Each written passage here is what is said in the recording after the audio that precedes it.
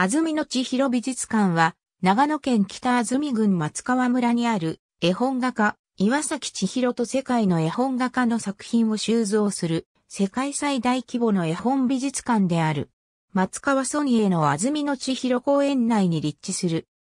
岩崎千尋絵本美術館の開館20周年を記念して千尋の両親が戦後に開拓農民として暮らした長野県北安住郡松川村に姉妹館が建てられることになり、1993年夏、岩崎千尋記念事業団がプロポーザルコンペティションを企画。内藤博士建築設計事務所が設計を担当することになった。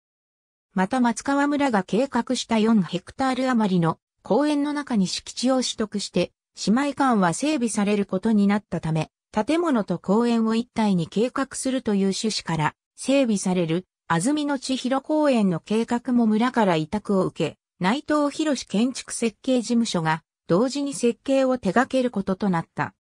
安住の千尋美術館は1997年4月に開館し、2001年3月には本館西側に新館が増築され、本館を含めた展示面積は約2倍に増え、展示室が5部屋となった。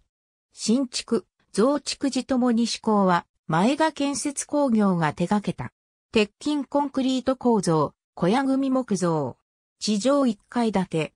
2017年4月、開館20周年を迎え、同年までに延べで389万人が入館している。初代館長は松本武氏が務め、2011年5月から黒柳徹子が2代目として館長を引き継いだ。